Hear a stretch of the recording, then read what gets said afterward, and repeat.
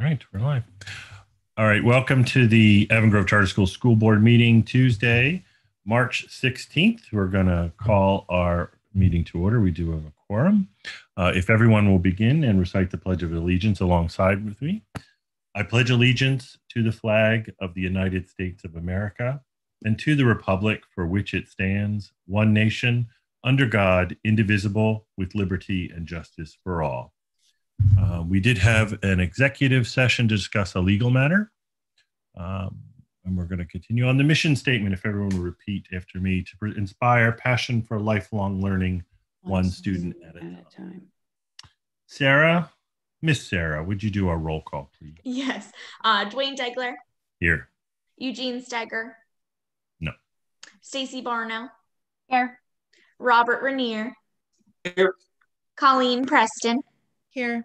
Deji Akintoy. Here. Brian Ladman. Here. Kristen Smith. Here. And Michelle McCray. Here. Excellent. Thank you very much. All right, we're going to move along. The board working session of uh, February 16th. Uh, I hope everyone got to review it, check it out. Uh, if there's any questions or uh, changes that we need to make, if not, do we have a motion to approve the February 16th board working session meeting minutes. I'll motion Michelle McCray. Thank you, Michelle. Second. I'll second. Thank you. All in favor, just give me a big nod. All in favor. Thank you so much. Um, moving along, the uh, the public board minutes of February 16th, the same evening. Uh, if you have any questions or concerns, revisions, no, uh, do I have a motion to approve the board meeting minutes of February? I'll motion again, Michelle McCray. Perfect. Do I have a second? I'll second. I'll second. Colleen, you beat me. All right, okay. Colleen, all, all in favor, nod your head.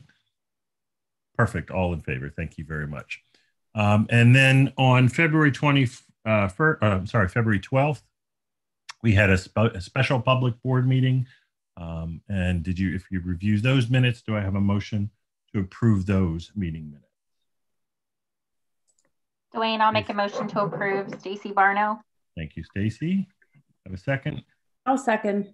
Kristen Smith, thank you. All in favor, big nod. All right, thank you all in favor. Thank you very much. Moving right along, Mr. Bruto, uh, student enrollment, how we doing? So uh, enrollment for the period ending uh, February 28th, uh, our enrollment was at 1863. During the month of February, we had four students withdraw and three new enrollments.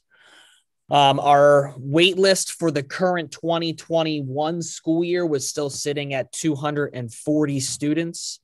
Um, and we had at the end of February 379 applications for the 21 22 school year. Um, we did run the kindergarten lottery and made our first round of kindergarten offers um, on Monday, February or Monday, March 1st. And then this past or yesterday, uh, Monday, March 15th, we ran the lottery for grades first through 12th for next year and started our first round of seat offerings um, in those grade levels. So uh, admissions is open and and running for next school year at this point. Excellent. That's good to hear. Great news. Uh, moving along, ah, student representative report, and Mr. Gassler's with us. Decided to join us this time. Carter, how are you? Yes, I'm back. no, uh, no other conflicts tonight. Um, oh, sorry I missed awesome. last meeting, but I hope, all good. I hope Dylan did well enough. Carter, are you sharing a screen? I'm going to have to stop this anyway. I, I'm, I am, right? Uh, yes, I was just about to share one. All right, there I go. Out. All right, can everyone see that? Yep. All right, so this is our March student activity report. Uh, we've had a busier month, so that's been exciting. Uh, oops, went too far.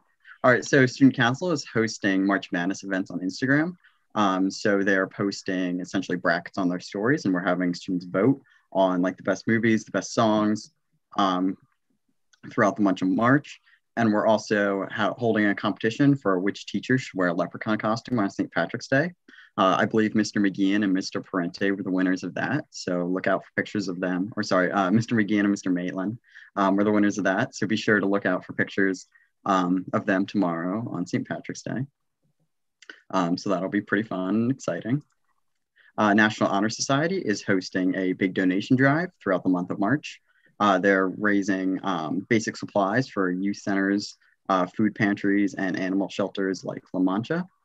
Um, and they're continuing to provide their peer tutoring service. Um, from what I've heard, that's been very successful um, and it's helping out a lot of people. So good for them. Uh, high school yearbook is now collecting senior quotes. Uh, they're collecting teacher senior photos. So um, teachers, you can have your own senior photo featured in this year's yearbook. Uh, they're collecting pet photos. So if you have uh, pictures of your favorite pets that you spent quarantine with, you can share those. Um, and then photos of teachers in their masks to be featured in this year's book because that's um, just been a huge part of the year. Uh, so Tri-M, they are planning a virtual Name That Tune competition. Um, so that should be a fun event, uh, fun classic for them. Uh, so we're excited that they're able to get that in this year. Uh, so the academic competition team has just wrapped up their season. Uh, so varsity finished the season with a victory over Renaissance Academy um, in the round of 32, uh, but then unfortunately lost to Conestoga in the round of 16. Um, Conestoga, of course, is a very formidable opponent um, that went on to do pretty well this year. Uh, JV had a similar story. They won over Octorara in the round of 16, um, but they lost to Henderson uh, in the next round. So um, also lost to a very solid team. So uh, we're quite happy with how the season went and we'll continue to practice in the off season and hope that the competition uh, returns to its normal format next year. Uh, so DECA, we have some exciting news. Two members qualified for the International Career Development Conference that will be held at the end of April. Um, so that's essentially an international DECA competition. Um, so students from around the world, um, so all throughout the US, Mexico, um, Germany, Spain. Um, normally we'd all come together uh, in Anaheim, California, but of course it's virtual this year um, for a DECA competition. So that's exciting. Carter, who's the two also, students? Uh, it is me and I Kate thought. Engelman, who is a sophomore. Yeah, congratulations. Thank you. Um, and then we've also elected next year's executive board, who will also be attending the virtual conference um, to attend leadership seminars uh, to learn how to continue to expand our club. So right now we have about um, 8% of the total high school uh, enrolled in DECA, and we want to see that number continue to grow. Um, does anyone have any questions about what's been going on over the past month? No, board members, no. Excellent job, Carter, as always. Fantastic looking slides. Great job. And congratulations on that other thing. Perfect. Um, if nothing else, thank you again. Big round of applause for Carter. And we're going to just move along. Thank you very much. Thank you. Um, Mr. Bruto, any public comments? There were no public comments submitted for tonight's meeting. Okay, moving along. Uh, board committees. Um, uh, I'll pass myself. Uh, Mr. Rainier. I'll, I'll, give the updates on the finance part. Perfect. Thank you. Uh, facilities, Ryan. All right. Good evening again, everybody. Uh, so we met um, last Monday and we started out talking about uh, preparing to bring more students back into the school. So that was exciting. Um, we covered some old business dealing with staffing. There are eight applications that have been submitted uh, for the open positions uh, dealing with grounds building. We had one application submitted for the HVAC position. So hopefully those get filled soon. I think there was some activity late last week. Um, so we'll get some updates in the future meetings. Custodial operations update. Deep cleaning was going well. Uh, so that was good to hear. Um, covering facilities, operations, and projects. We discussed the stormwater management uh, project plan, and so there'll be a walkthrough for that scheduled shortly. Uh, we discussed the DEP air monitoring lease, and so um, the draft, I think, is still in legal review and will require board approval.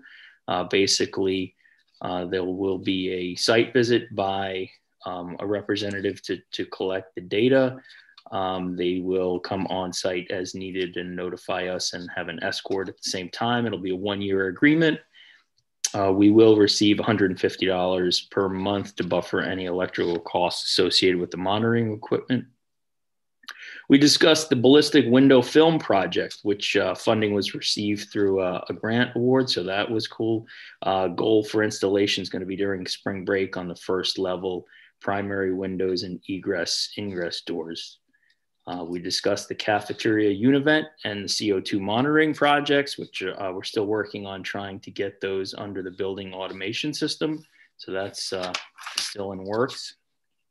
Over at the ELC campus, we discussed the carrier ventilation unit upgrades. And so the facilities team there is still working on the repairs and the upgrades. We're, we're in the process of getting quotes uh, from carrier for the uh, various upgrade packages that would be required. We spent some time on the school-wide facilities plan. Uh, so currently the facilities team is collecting data and Ian Curry uh, reported that they were making good progress there. So that was good to hear. Uh, there were discussions pertaining to the turf and landscape management plans as well as snow operations. Uh, so we're going to be looking for some new vendors um, for the landscape once our current contract is up. Um, capital improvement projects for the summer of 2021. Um, we had the projects go out for bid. And so there were five bids that were received for general trades, three for plumbing, three for the mechanical uh, services, and unfortunately zero for electrical services. I was told that that is not uncommon. And so, as a newbie, I had no choice but to believe everybody. And so, no one was overly concerned, which was good. Um, so, we're currently uh, circling back to look at uh, how to obtain an electrical contractor that time. And so, we'll have an update for that next weekend. Lowest bids for mechanical contractor was the Clipper Pipe and Service Inc. Uh, the plumbing contract was Stan Rosh Plumbing and general trades BSS contractors. So it's my understanding at that time that those three likely get those contracts uh, with the electrical still outstanding. Um, facilities department at State Road talked about window replacement phase two. Um, in the 1955 building, fourth and fifth grade classrooms. So we're still waiting to get back uh, a quote from Superior Glass. We were told the project roughly take eight weeks. Um, to install those windows. Discussed a little bit of the arts wing renovation.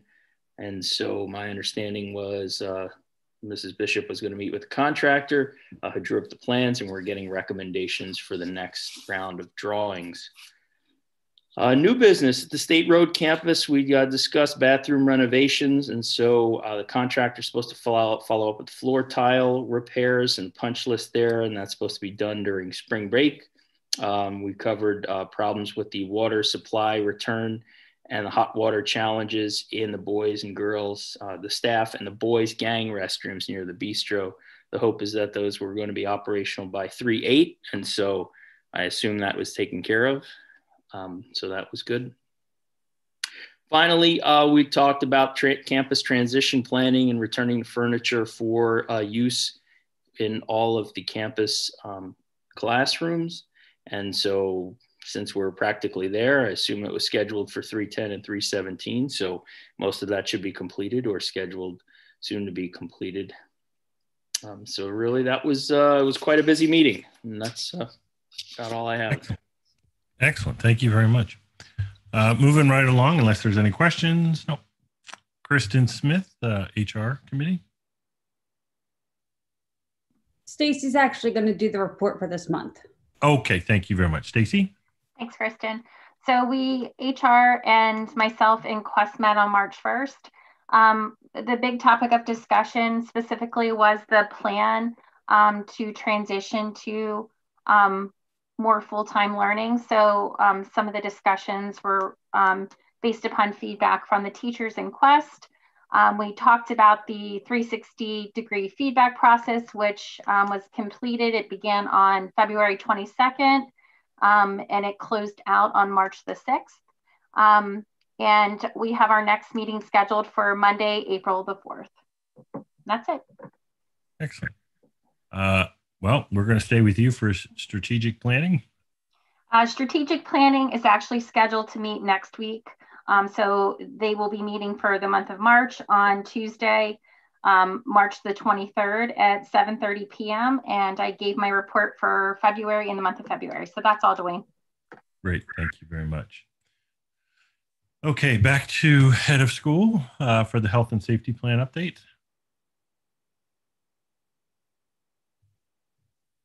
Kristen, you're muted. Okay, sorry. That's okay. All right.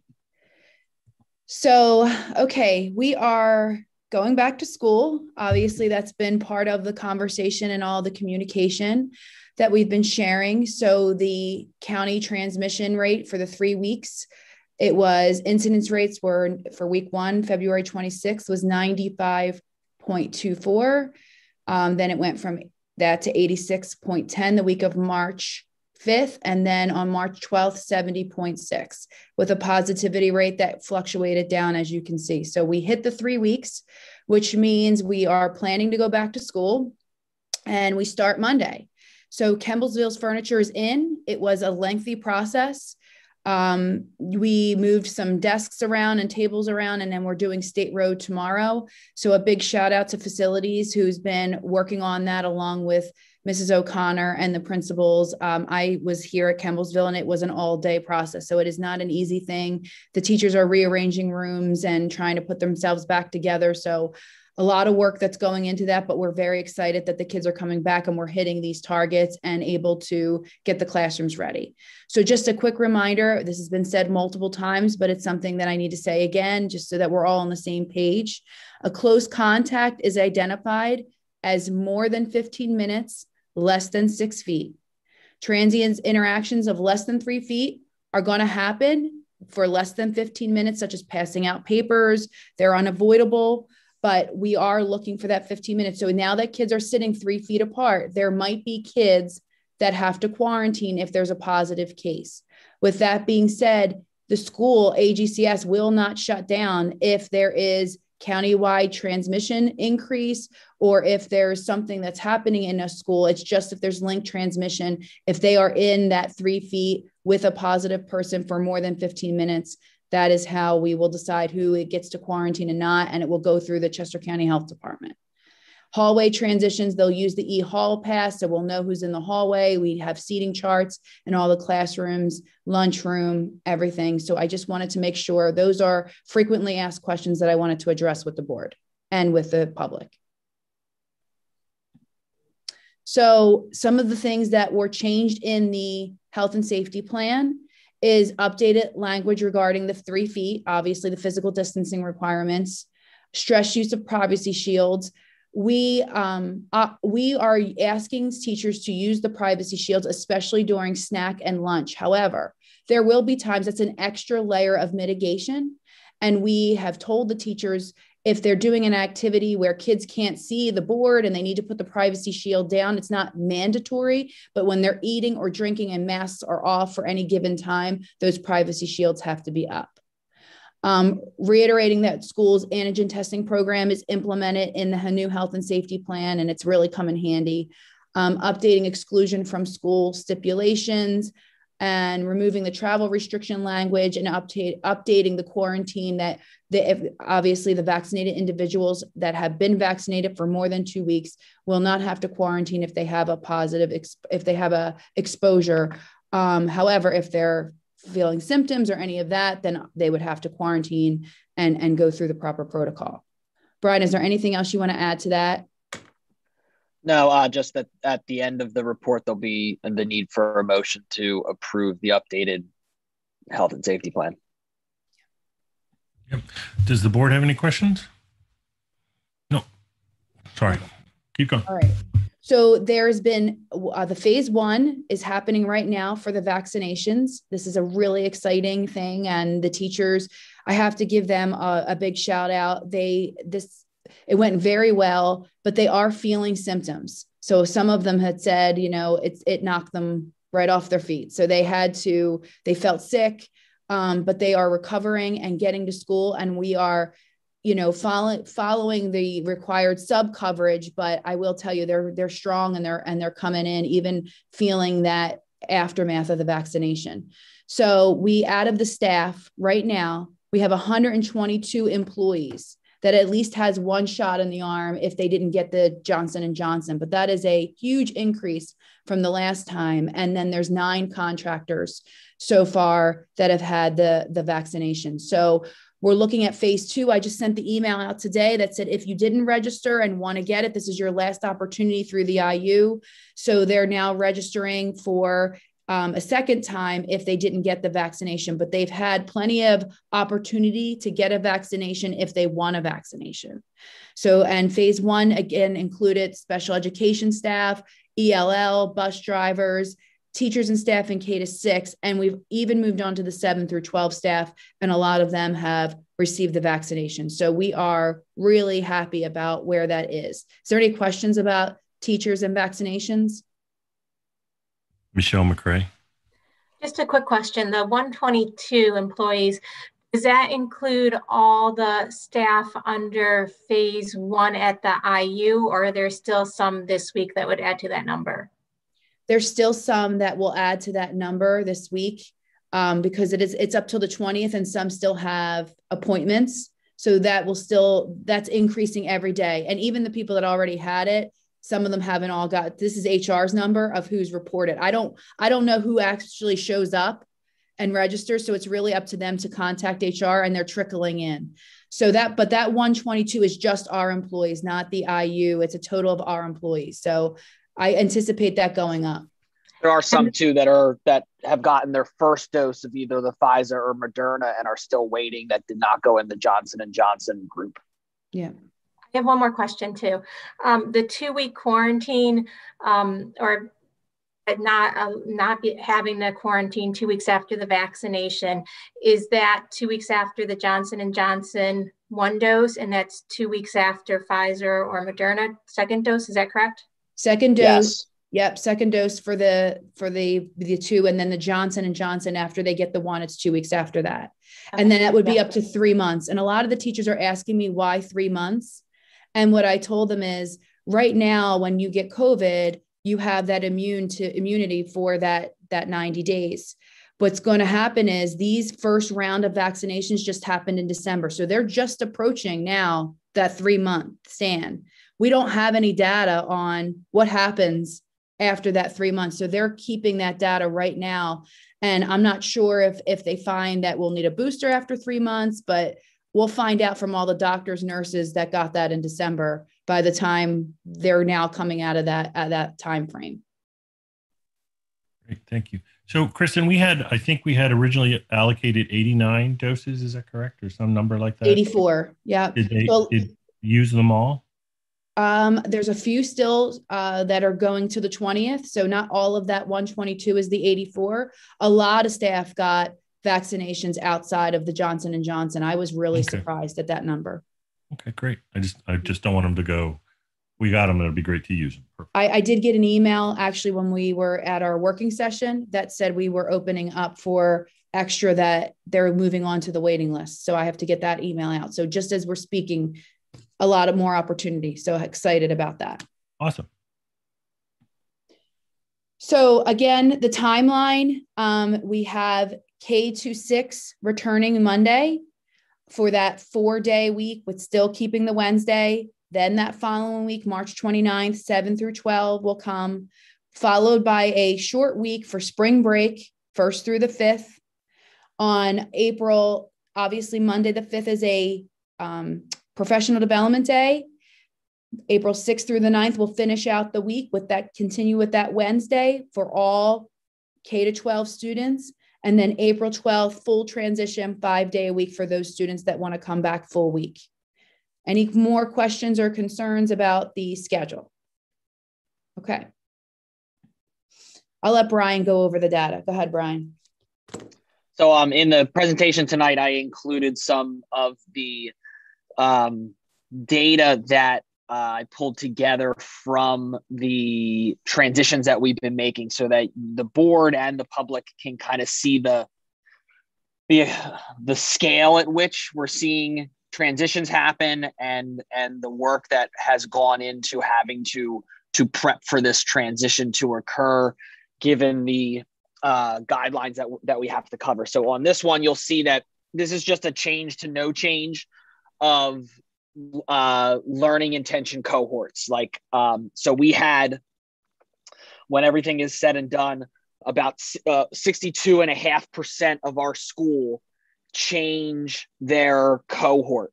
That's red going to uh, virtual students coming hybrid, virtual students going to four day a week model, hybrid students moving to a four day a week model, and every other scenario. Um, we had, you know, to 62 and a half percent of our student body changing somehow. Um, and I gave the grade level breakdown so that you can see that the major the, the highest percentage of change really happened down in, in our early primary grade levels. Um, and and you had the most the most student movement between cohorts. You can go to the next slide um, this this slide shows the movement of students from what their current current cohort is, which is the rows, and what their transition cohort is, which is your columns. So, um, so you kind of read it on uh, across and then in diagonals. So you can see that there 39 blue cohort students stayed blue. 483 blue cohort students moved to green. So that's two day a week hybrid to four or five day a week and one blue, uh, blue student went virtual for the remainder of the year. Of our current gold students, so the next row down, 70 of them stayed gold, 454 of them transitioned to four or f- the four or five day a week cohort, and one went virtual. Um, of our current green students, 261, they all pretty much stayed where they were at. Um, one scaled back to hybrid and one moved to virtual. Uh, and of our virtual learners, 33 uh, moved into the blue two day a week hybrid group, 43 moved into the gold two day a week hybrid group, 139 transitioned from virtual learning to the four and five day a week group of green, and 328 stayed um, remote. So you, you see some pretty big swings there. And, um, you know, previously when we had you know, uh, over 500, almost 600 kids. Um, virtual learners we're, we're down to about 330 remaining for the rest of the, of the school year uh, with the with the uh, largest group transitioning back to that more normal uh, school schedule there's a couple things i want to point out one is that parents really were appreciative of the choice and number two, I know that there was some confusion around the initial survey. And in the initial survey, we were asking for feed. We wanted them to give us what cohort they wanted to be in. However, we told them that it was for planning purposes because it was being that if they picked hybrid and we didn't have enough kids to support that, that we were going to move them into that five day a week. So we wanted the flexibility. But in doing that, parents were confused and thought that they picked a cohort for planning purposes only and wanted to change it within that two week span. We allowed them to do that. And it did change some of our numbers, which changed our furniture. But most importantly, what I was hearing is the YMCA and the programs, the childcare programs were closing because districts were all going back to school, which then forced parents to make different decisions. So I think we gave parents a lot of flexibility and a lot of time to make the choice that worked for their kids. And uh, I just wanted to point that out as part of the conversation because I know it was a hot topic um, within forum. So I wanted to make sure I addressed it. You go to the next slide. Uh, and this is your breakdown by grade level. Um, the, the first group of colored columns are your actual student end counts by grade level. Um, and then the second group on the far right is your percentage of the grade level by cohort so that you can see um, what how many kids by grade level are in what what cohort and what learning model and then also the percentage of it uh, you can see again, it kind of, you know, the, the percentage of students who are coming in, returning back for a, a more full-time learning model um, starts highest in kindergarten, uh, in kindergarten and first, and then kind of decreases a little bit um, as the grade levels go up. Uh, and conversely, remote learning, you know, you see a, a, a inverse to our virtual students um, at the same time. So just if the board was was curious about what what you're seeing in the number of students by grade level who are making these transitions, and these are these are high numbers, and there's a lot of been a lot of work um, on behalf of the administration and the principals and our teachers and, and office staff of trying to make um, the the puzzle pieces fit, the numbers work, and, and the logistics work to to make this happen for um, our students in a time where across the Commonwealth there are still a lot of schools who are not able to uh, get over the logistical hurdles that that come with trying to make this type of transition within the constraints that we have to operate under. So, just some of the uh, transition things that we've been working on. Obviously, furniture is a big hot topic, and setup and seating charts, and all of the things that go along with that. The facilities, the cleaning and sanitizing. Obviously, we're going with more children. We're going to have to step up the amount of um, cleaning and sanitizing that's happening on a regular basis, and then just the grade level needs. So, part of the conversation, every grade level needs something different. So, you just saw the numbers in kindergarten. There were 19 kids virtual, and just in, in, in kindergarten alone, that are staying virtual, along with some blue and gold kids in that mix, which is over 20 teachers on that Wednesday were really spending the time meeting with those small groups of virtual kids. So the early elementary school teachers are saying, if I have 20 kids in the class, they still need to be in my class for group instruction, for things that we're doing as a class. But I don't know how I'm going to find the time to give them that small group instruction and the things that they need when I have those 20 kids in the classroom. So what we did is we were bringing in a sub per grade level for the early elementary school levels and those extra teachers will be assigned a grade level to work with those small groups in those virtual kids. They're not getting a different teacher. I'm making that very clear. They're getting a layer of support so that those virtual kids can meet in small groups and get that intention that they got on that Wednesday, which is really important. And they'll support the teacher in a very strict schedule so that, you know, they can support those kids while there's a transition. I do need to say, you know, when kids and I and it's not that the virtual kids are not going to get the attention that they've gotten, it's that they have parents need to understand that there's a transition as kids are coming in, they're learning new processes and procedures and there needs to be an understanding of at least that week transition just like when we're starting a bus schedule for the first time and we say it's going to work out some kinks there's going to have that as we as we transition this through this and we so, did do that at the beginning of the year too, if you'll remember. We yep. we went we had virtual learners go asynchronous while we taught our in-person students the procedures that they needed to follow. Exactly. We have to do it again. Right. So with that being said, um, with the other grade levels, we got a lot of feedback. Hey, I have only two virtual kids. We're fine. We don't need that support. And to get another person in the mix is too hard and difficult for us. So the principals are really working with each grade level on what they need to make this transition work to be able to give the options that we're giving parents through this transition. So uh, we we might revisit some of these options that might work and might not. That's the beauty of being flexible through this is that if it's not working, we will change it so that it works what's in the best interest for kids. So um, we're hoping that this is going to work because we've seen each of these plans transition and we worked out the problem solving, but not with no big major changes. So we I'm anticipating the same thing as we as we get through that. So there is some conversation around kids right now, and and we are seeing the same things that all the school districts are seeing, which is there is a lot of need for mental health attention and kids that are struggling academically, um, even high school students, even seniors that are just trying to graduate. And so, with that being said, there are so many interventions that are taking place. So, I'm going to have Ryan talk about the slide and where she is with working with the administrative team on um, giving some of those kids that support. Sure. So, um, as our foundational layer, we have um, had a lot of focus this year on relationship building and building that into Um, the classroom for K to six, it, it's occurring daily. And then for seven through 12, it's occurring at least at a minimum of twice a week. We've been really focusing on our school-wide PBIS efforts.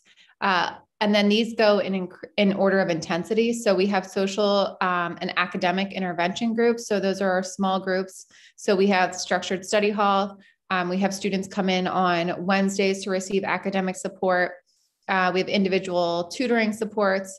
Then we have our check in, check out program where students check in and out at the beginning and end of each day, and then um, with the teacher in each individual class period one-on-one mental health counseling and supports um, and then the virtual attendance support program is new this year. Um, that is one that we've partnered with the iu to do assessment barriers to see um, the difficulties that students are having with their attendance and, and engagement in their learning and then the highest layer of support would be the attend program which we're also partnering with the iu to do functional behavior assessments look at um, an added layer of potential um, supports in home or in school, depending on the individual need.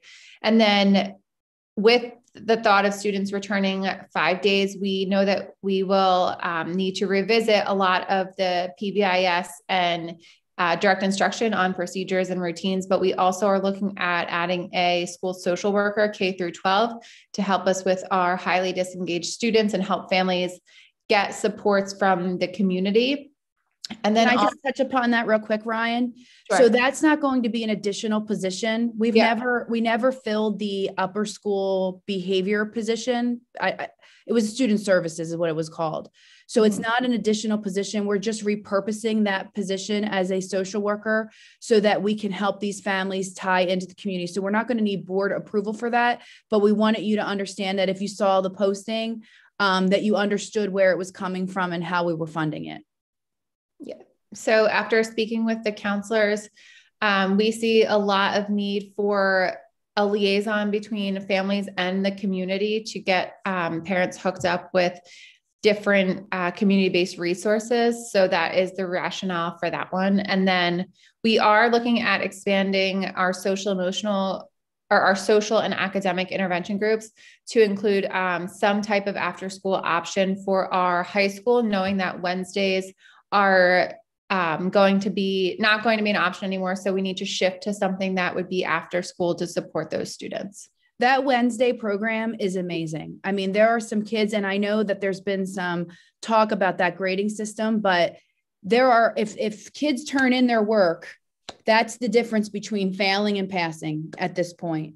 And so allowing kids to come in on that Wednesday that are failing to work with tutors to get that work done and get the support has made the difference of kids, multiple kids passing and failing. And so to rip that service away from them is going to be detrimental to their success.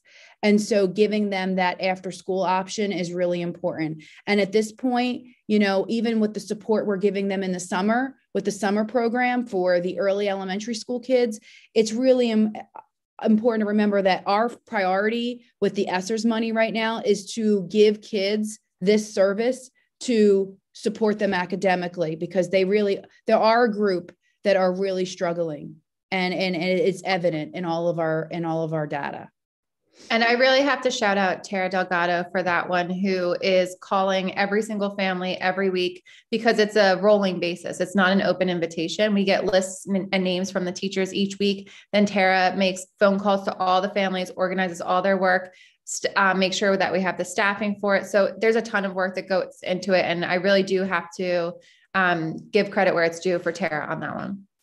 agreed any questions about that okay thanks ryan Yep. Um, so we are transitioning to spring sports. We did not um, have winter sports. They uh, did have some senior celebrations for those seniors that didn't have their winter sports. But with the weather changing and us moving five days, we would like to get into the spring sports. They're they're starting tryouts. Um, and they are looking at you know training agreement forms and athletic daily screening forms working with nurse holly to make sure that they're following the athletic health and safety plans that were um, put in place in the fall that we followed in the fall some of the changes from the fall are the following Um, they would like to increase group drills to 15 athletes or less. You had in the fall 10. They would also like to change that um, they're required to wear a mask at three feet, like they are in school. Um, and then, as far as spectators, they would like to have in the fall, we had just seniors that had spectators. We'd like to have two spectators for every for the high school students that are participating at home events only and no outside visitors from other teams and then as far as um, obviously all the required in-person social distancing is going to be required for all the teams that are coming in um, for for outdoor sports in the spring so the athletic health and safety plan is attached here and will be uploaded in board docs. It, it, it, follows the requirement that I'm saying right now as far as the changes. Um, then they'll be in red in the presentation. Is there any concerns about any of that as we update that athletic health and safety plan? Go ahead, Michelle. I'm just curious, how are the spectators, how are those rules enforced? So the athletic director and Dr. Maitland are taking the responsibility for enforcing two tickets, making sure that somebody's there checking in on which student they're representing, and then that the social distancing on the side of the fields are are being, you know, implemented. Great, thank you. You're welcome. Any other questions? No. And these uh, are all outdoor outdoor sports. Okay. Kristen, does that cover your section there? Because we'll go back and we'll. Yeah, we'll go back and we'll we'll cover all health and safety updates. Um, and then I just wanted to kind of talk about the community events that are happening. It's one thing to transition us into a for learning and academics, but I think that the administrative team, along with the, the principals and the teachers, are doing such an amazing job trying to continue to enforce the community events that we would have in a very um, socially distant and virtual way. And so the father daughter dance was and and the mother son, which they'll be doing something for them too, is and or loved one. It's not just fathers, it's loved ones too that go with their with their students. It's a tradition that is really uh, an amazing one.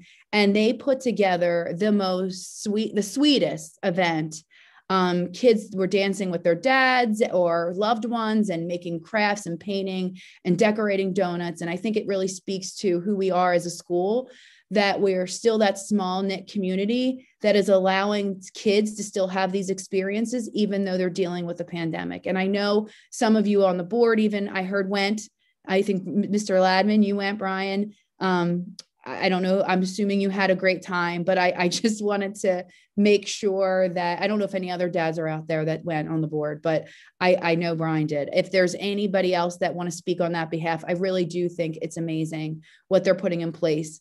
Another thing that I, I saw was we have preschool visits and visits for kindergarten. And every Saturday, teachers are taking turns working with preschool students on Zoom to experience what Campbellsville is all about and make things and explore their the building. They come in on a Saturday. Again, those extra things that really speak to who we are. Uh, prom is happening. Uh, we are going to COVID test the kids. We have a very small group of kids that are participating right now. We'll follow the health and safety guidelines, but we are putting a plan in place for prom. And high school graduation happened last year. Um, and will happen again this year with all the safety protocols. We are going to do the same outside graduation um, that we had last year. And so it was it was a beautiful graduation but we're we're and we're going to go to all the seniors houses. So the same traditions will still happen with safety in mind. So i just wanted to kind of really give a shout out and make sure the board is aware that these things are happening at the school. Any questions? Okay. Um I, I know I've talked about this at the board meeting, but we was in the daily local. And again, it speaks to who we are as a school fundraising. And I'm not sure if you're seeing the the publicity around the kindness that's still continuing through this fundraiser. Um, but you know, just even have the firefighters on their social media sites posting the things that they're getting from kids with the police officers and Ronald McDonald House and all of those things. I just, I, it continues to really just speak to amazing things that are happening at the school. Ryan, is there anything you want to add to that since you're here? No, I just appreciate everyone's support and I'm looking forward to doing it again next year. Ryan really put a lot of time and effort into this. And I, again, I can't, I can't thank her enough for her, her creativity in making this happen. So um, that's my report for tonight. Any questions? So at this point, we're asking for the board to approve the updates in the health and safety plan for both the athletic and the school health and safety plan. We have a motion for that. Do we have to do them separately? Is a question. Yeah, we'll we'll we'll, we'll um they're listed separately. We can do them real quick separately. It's all right. Okay. Do we have a motion to approve the health and safety plan as presented? Dwayne, Stacy Barno, I'll make a motion to approve the updated health and safety plan as presented. Okay. Do I have a second? I'll Yep. second. Colleen, thank you very much. Um, all in favor? Give me a nod. Okay, unanimous. All right, same thing. Spring athletic health and safety plan update. Do we have a motion to approve the athletic health and safety plan? I motion to approve the health and safety, I mean, the uh, athletic plan. Excellent. Do we have a second? BG Akintoy, I'll second. Thank you. All in favor? Give me a nod. Beautiful, unanimous. And then Dwayne, there's only other, the resolution for Yep. the um, community service hours that we talked about at the work session. Yep, I was going to bring that up. Okay. So this was the resolution to uh, give a waiver for the uh, community service for the graduating class of 2021. So uh, do we have a motion to approve that waiver uh, of the school's Robert, community your service? Rob Renier will motion. Do I have a second? I'll second. All in favor? Perfect. Thank you very much. Before you move on, can I just reiterate that that is only for the class of 2021, 2021. and this school year, and that our current 11th graders still have that requirement in place for their graduation next year. I say that only because we do this every year where we have to hunt down kids for graduation hours or gradu- or for community service hours. so that's Mr. Yeah. Bruto telling anybody that's listening, parents, make your kids do your community service hours. Yes. Don't make us tell you that you can't go to graduation because you didn't do your community service hours. We don't want to do that. Right. Perfect. Thank you very much, Brian. Good point. All right. Uh, moving along. The fun time of the evening. Treasurer's report. Mr. Rainier. Thank you for the vote of confidence. Um, but anyway, um, so it, it won't be too long tonight. So um, AGS financial, AGCS financial statements approval. Based on the review of financial statements as presented, administration has recommended 2021 January financials be presented to the Board of Trustees.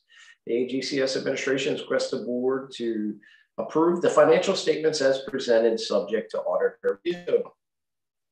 2021 fund uh, February funds activity and vendor uh, transaction reports. You can review them. There's a lot of them. I've sent a lot of checks, so uh, you can review them, and they will be uh, approved under the consent agenda. Cash position, school's cash cash position is very good. Um, this is uh, this is going to require a motion, so please, uh, if you didn't have a chance to review, the Department of uh, Environmental Protection contacted the school to determine whether or not the air quality monitoring unit could be situated at the State Route campus to collect air quality data uh, for a 12 month period. The school was open to this request and a meeting was scheduled and reviewed protocols, the DEP unit specifications, the, they de- to determine the best and most secure site location as well as to discuss the documented agreement required at requested move forward. An agreement was drafted and remitted to the legal review. The only revision was to request that the specific to the monthly fee paid AGCS for electrical costs, an increase $150 to $200 to the monthly rental amount was advised as needed to cover increasing en- energy costs anticipated over the next year. The revision was accepted and the agreement has been finalized. Based on the completed reviews, administration is requesting the board consider approval of the agreement as presented. So can I get a motion to approve the Department of Environmental Protection and Avon Grove Charter School air monitoring equipment license agreement as presented? Yep, I'll make a motion. Is there a second? I'll second Rob Stacy Barno. All right. Any questions? All right. All those All in in favor, favor? raise your hand. Yep, you got it. You got it, Rob. All right. All right. So as mentioned earlier uh, with Brian's uh, the facilities update, AGCS 2021 Summer Capital Improvement Projects bid, uh, public bid uh, opening and in award contracts. So I'm going to summarize this because there's a lot of details. As Brian already uh, told us, the general trades contract BSS contractors was 216,000.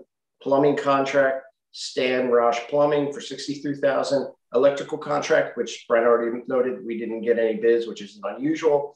And then mechanical contract, Clipper Pipe and Services of 20,700. Contract total is 497,736, not including the plumbing contract. Um, Is that supposed to be Uh, not including the electrical versus the plumbing?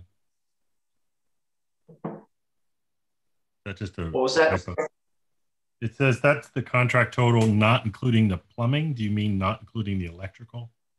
electrical, you're right, my bad. All right, just asking. So, yeah. Um, so that can be updated. Um, so uh, these have been reviewed by Heckendorn Shiles Architects, and based below uh, the, the review, the board and finance committee are recommending that we approve these bids. Um, and Brian, please correct me if I'm wrong in any of this stuff, but uh, the motion is to award the publicly uh, publicly bid AGCS State Road 2021 summer project contracts as follows. And it has the three resolutions below. All right, can I get a bid to approve it? I'll motion, motion. Michelle McCray. I'll second Kristen Smith. All right, are there any questions? All right, all those in favor? All right, motion carried. The AGCS 2021-2022 fiscal year budget process. The collection of data and comp- compilation is ongoing. Administration is working with the business office to provide information as needed. Um, key dates will be determined when administration will meet and review budget line items. Um, we expect this, uh, we expect Donna to give us more information in the next uh, month meeting. 2019-2020 AGCS Employee Benefit Plan Audit. Uh, the AGCS engaged Maillie LLP to perform the 2019-2020 AGCS Benefit Plan Year Audit. The audit field was uh, field work was completed in January and no findings. Um, the audit was presented to the Finance Committee and all questions and comments were addressed. Administration requests the board to approve the 2019-2020 AGCS Employee Benefit Plan Audit as presented, uh, prepared and presented by Maillie LLC under the consent agenda. Um, this is a formality, but we have to do it under consent agenda. Um, AGCS 2019-2020 plan year IRS form 550 approved to file uh, electronically. Administration has completed the review of 2019-2020 plan year IRS 50, 5500 uh, filing for the period covering September 1st, 2019 through August 31st, 2021. I think that should be 2020. 2020. With the uh, with the board treasurer, there is no payment due. Administration has recommended the board to approve the document document for electronic filing as presented under the consent agenda. So Sage Intacct and Paramount software implementations. Donna and her team have been doing a lot of work with these guys, get a lot of training, a lot of understanding how we're going to map our existing uh, accounts to the new account system. So a lot of work has been done. Um, there, um, so the main point here is the go live date has been changed uh, to July 1st, 2021, which is why we'll close out the accounting period with our current year budget and they're moving, you know, but it was originally supposed to go May 1st. So why we're going to switch accounting programs within a year, just easier to do it afterwards. Um, and uh, that that is the you can read it. If you have any questions, let me know afterwards. That's the main change in this section. Um, and then at the very end is miscellaneous uh, business office items. 2022 2021 statement of financial interest due by May 1st, 2021. So uh, if you haven't went online and filed, or if you haven't filled out the paperwork to send it to the office, please do so because it's due May 1st. Any questions from anybody? Any questions on All that right. financial interest that you have to do? Everyone get that? Especially for the new board members. Is that, you want that online? I thought last, last month we were unsure whether we were waiting for the paper forms or if we're just doing it online. You want us to do it online? You can. Yeah, Susan Susan- sent out a link. Yep. That's, yeah, I got the link. I just, just ch- checked Right. before I did it. Uh, normally we fill them out with the paper copy and we keep a copy on file. And for whatever reason, this year the statements are late. We went online. It seemed really easy. We get a copy for the file. So you can do it either or.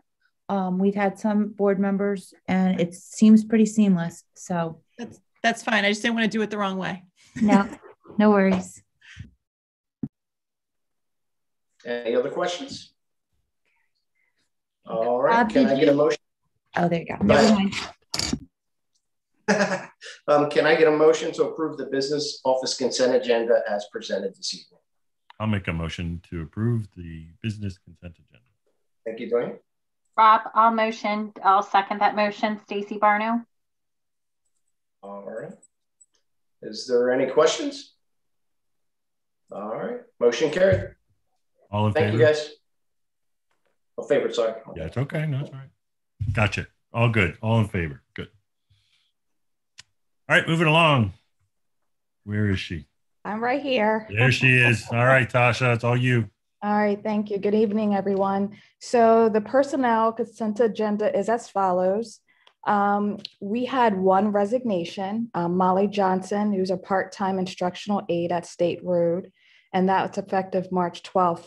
Um, for those of you that know Molly, she will remain on campus. She's actually just transitioning to a contractor, GHR, um, so that we can utilize her skills for or with more hours. So as a part-time employee with AGCS, you typically work 28 hours a week. And with GHR, we're able to um, expand upon those hours without making her full-time. Um, retirements, we do not have any. We do not have any releases or leaves. However, I, I am also excited to share that we have one um, addition to payroll under professional staff, Matthew Masick. He has been extended and accepted an our upper school principal offer, and he is going to begin um, effective May 24th. As you all probably remember, in January, I shared that um, Dr. Maitland um, is re- resigning as of June. We don't have any support staff to report or contracted vendors. However, I do have one seasonal staff, and that is Eliza Mallory. She is being hired as an ESY teacher effective June 23rd. The one thing also with Eliza, um, she will start in August as a special education teacher, and I will report out um, closer to August or um, July, but wanted just to make note that you will see her name again. And so administration is recommending the approval of the staffing changes provided within the personnel consent agenda, specifically items listed from 8A through 8I. Great. Thank you, Tasha. Do I have a motion uh, to approve the personnel consent agenda specifically, this specifically 8A through 8I? No one jump at once. I know, right? I'll make the motion, Michelle McCray. Thank you, Michelle. Do I have a second, please? I'll second Stacy Barno. Thank you, Stacy. All in favor, raise your hand. And unanimous. Thank you very much. Thank you, Tasha. Thank we you. Can't, wait to meet uh, Matthew. That's exciting. Agreed. Okay, moving along. Donna, policies. Policies. Okay, um, I will make this quick as we review the, these in a little bit more detail at the working session. Uh, the business office is presenting to the board several policies for their review, 30-day review and consideration to approve at the April public board meeting. The policies that have been remitted to the board and they are available on board docs are the pupil allotment tuition income policy, payment of bills policy, the finances policy, student activity fund policy, taxable fringe benefits, fiscal management fund balance with an attachment, the annual resolution to commit funds, and lastly, the uh, gifts and donations. Upon approval of these invoices, there will be two older AGCS policies that'll be rescinded. Uh, the first one is payment of claims policies, which will be replaced by the board docs payment of bills. And then the second is the older AGCS common trust policies, which will be superseded by the board docs gift and donation donations policy 5002. So again, they are shorter policies. Um, we're looking for the board to review, provide any questions to the business office, and then we'll move into April seeking an approval. Thank you, Dwayne. Thank you, Donna. All right. Last thing on our agenda is the um, a legislative report. Kristen, did you want to talk or did you just want me to give um, the board a quick update on some of the key issues with the governor's proposed charter That's- school reform? That's fine, Donna. Go ahead. Okay. Um, so I just wanted to make the, the board aware. Um, we've been in some meetings. Um, we've been invited to a legislative breakfast, Kristen and I, next Monday to discuss some of the items that are contained in the charter school reform bill. Um, we've had an opportunity to sit down and review this with the finance committee. And um, some of the topics, uh, there's multiple ones. Um, they're going to present significant challenges um, to, to, the school and they will have a direct impact to AGCS. Um, to loosely cover the discussions that have occurred over the last couple of weeks and the focus that's appears to be the aim for this legislation, I just wanted to review some of the challenges. So, um, reading through the 124 page bill, um, we had the opportunity to work with Stacy to kind of go through, provide our comments, and um, you know, she took those comments and then is having conversations with legislators herself. Um, but I wanted to bring these to your attention, and some of these items are severe funding cuts. Um, they're going to be our lengthy Unipay process that's already in place. They're going to be adding an additional additional time to that, which looks like another 30 day wait for that Unipay payment um, because they've added a documented refusal of payment requirement for each district before we can even bill Unipay.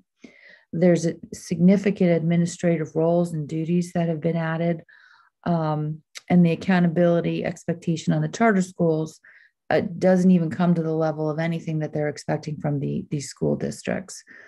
Um, there are standards that have been set for a school, a charter school authorizer to reference when they are looking at renewing charter school applications uh, for charter renewal.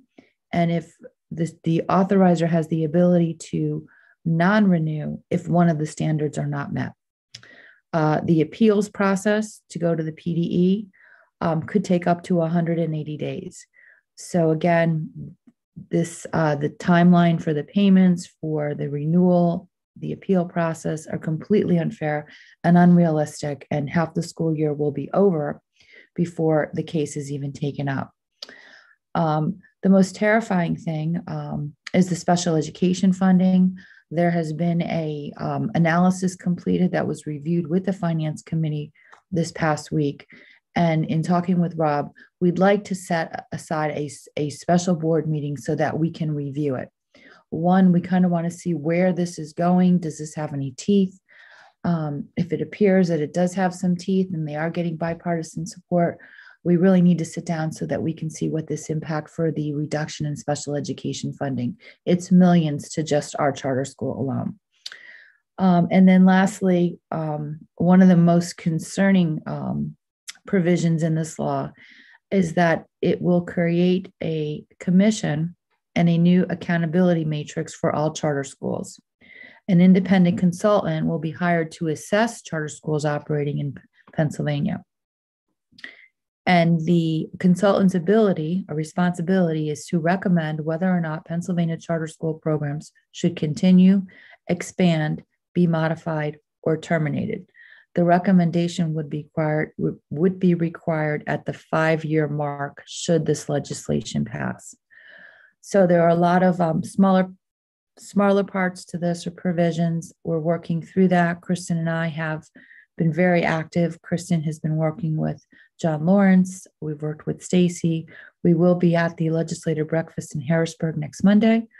Um, we have reached out to PASBO, um, our conduit, Bill Wood, who we worked with last year and providing some information, just kind of reiterating the information that we're hearing, which is different than the information that he's hearing, and just putting it out there that there is a lot of work to, to be done. And AGCS um, welcomes the opportunity to be part of the dialogue and to be part of the solution. So, more to come. Um, and then as we go to the legislative breakfast, once we get an idea of what is going on with this legislation, if they're really going to try and push it forward, um, Dwayne, we just like uh, Rob was going to request a time where we can sit down and kind of review what this four-tier funding model would would look like and what that financial impact would be to AGCS. So we'll keep you posted. We're hopeful that all of the information that we've been sending out and communicating is going to resonate with some of these lawmakers and that no action or maybe just accountability action um, for brick and mortars would be the path they take this year. I do believe that given the um, the narrative in Harrisburg, there will be some changes to cybers. I'm not exactly sure what that is. Kristen and I may have a better opportunity to um, kind of hear that on Monday when we're at the legislative breakfast. So we'll keep you posted. Um, you know, it's just, it's not unusual for them to put out the worst case scenario, uh, but I've never seen a bill like this before. I just want to remind people that this is all proposed language. Obviously, mm-hmm. this is not something that has been put in place, Donna. I, th- I, think it's just important for me to reiterate, especially with public on the on the absolutely that they understand that this is a proposal. Correct. And there is an outline of the summary on board docs, and it is proposed. So it is large and it is proposed legislation. But it's also important for our community to understand what these provisions are and what they mean. Because if they don't go online and look at some of this legislation, it, it could move through and no one is aware of it. So, bringing awareness to some of the proposals is critically important to keeping our community um, in the light as to what's going on in Harrisburg. Agreed. Thanks, Donna. Thank you, Rob. You were you were going to say something. It looked like you want to add something. Yeah, no, Dwayne. I just the next board meeting. This has to be front, like the next uh, session we can have offline or wherever it needs to be. We need to. It, it's what I've seen is just it's disturbing. So I just want the parents to know that what the legislation is proposing is disturbing how we will be treated as a charter school versus the regular school. So I just want you guys, it's it's very important. We all need to engage in this as soon as possible with the parents and engage our legislators. It's it's disturbing. That's all I can say. All right. Well, whenever you want, Rob, you you uh, um, let's talk about it and we'll set it up. It sounds good. Right. Sounds good. Thank you, guys. Yep. Um, let's see. Is there anything else from Miss Bishop or Mr. Bruto? I don't have anything. I don't okay. either. Thank you, everybody. Perfect. So the the last thing I want to say, and I hope the the board, I'm sure, will agree and feel the same sentiment. Um, I'm just very proud of the work you guys have done and the planning, just in around the whole going back to school, um, the stuff that you've put in place, the just the timelines, the effort and I mean everybody, including the teachers, the staff. Uh, Brian will, will include facilities because they're working their butts off, but uh, everyone. And, and, I'm just so proud, and I'm so excited that the schools and that turnout that they want to come back. I think that's that's amazing. So, um, congratulations and good job. It's a job well done. Um, if there's nothing else, Rob, would you like to make a motion to adjourn the meeting? I'd like to make a motion to adjourn the meeting for the evening. Thank you. Is there a second to adjourn tonight? I'll second. All right, Kristen, all in favor? Thank you, everyone, for being here. Everyone, have a great night, and we'll talk to you on the next one.